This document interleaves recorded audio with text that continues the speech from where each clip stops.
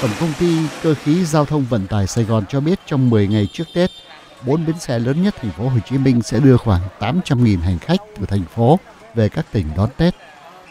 Bến xe miền Đông là nơi hầu hết các nhà xe đều phải niêm yết giá vé cụ thể. Mức tăng phụ thu ngày Tết từ 20 đến 60%. Thì tin báo chí cho biết hôm 4 tháng 2, nhiều hãng đã thông báo hết vé Tết. Phó Giám đốc Bến xe miền Đông ông Thượng Thanh Hải từng khẳng định sẽ không thiếu vé xe về các tỉnh miền Trung. Việc sốt vé chỉ do tâm lý ưa chuộng những thương hiệu xe chất lượng cao.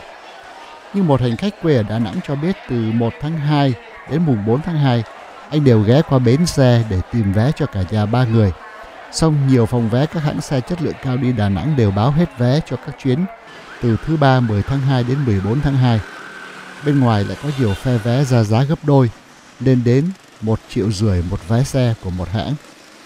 Từ ngày 8 tháng 2, các bến xe ga tàu tại thành phố Hồ Chí Minh bắt đầu thời gian phục vụ Tết Nguyên đán, gồm 10 ngày trước Tết và 10 ngày sau Tết. Đến chiều mùng 7 tháng 2, bến xe miền Đông quận Bình Thạnh đã kín chỗ đậu xe trong khu vực bến. Ước lượng có trên 200 xe tăng cường của các hãng, trong đó chủ yếu là xe đi các tỉnh Tây Nguyên.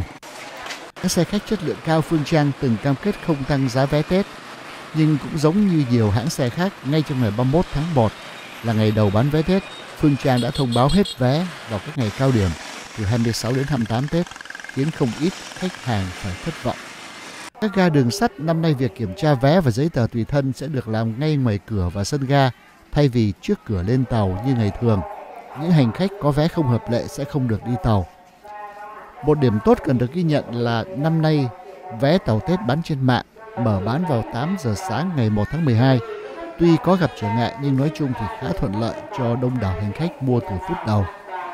Nhiều hành khách tán thưởng nhờ không nhãn mạch, nhanh chóng mua được đúng vé mong muốn. Tuy nhiên, cũng không ít người than phiền về việc không mua được đúng ga đến. Phần đông theo khách kể lại thì nhân viên phục vụ khách mua vé trực tuyến làm việc khá chuyên nghiệp, nhã nhặn và mau mắn, nhưng do hệ thống khiếm khuyết nên việc giải quyết cho khách bị chậm trễ. Thêm vào đó, tuy ngành đường sắt nói là vé giữ kỹ trong kho chỉ bán trên mạng cho cá nhân, nhưng rất nhiều đường dây bán vé chợ đen. Được biết là do nhân viên đường sắt tuồn ra ngoài để hưởng tranh lệch Ông Đinh Văn Sang, Phó Tổng Giám đốc Công ty Vận tải Hành khách Đường sắt Sài Gòn, khẳng định rằng tất cả các hành khách khi lên tàu đều phải đúng tên theo chứng minh nhân dân có kèm ảnh của chính họ. Trường hợp sai tên với chứng minh nhân dân sẽ không được giải quyết. Những hành khách mua vé chợ đen chắc chắn khi lên tàu sẽ gặp rắc rối vì ngành đường sắt không giải quyết theo kiểu du di.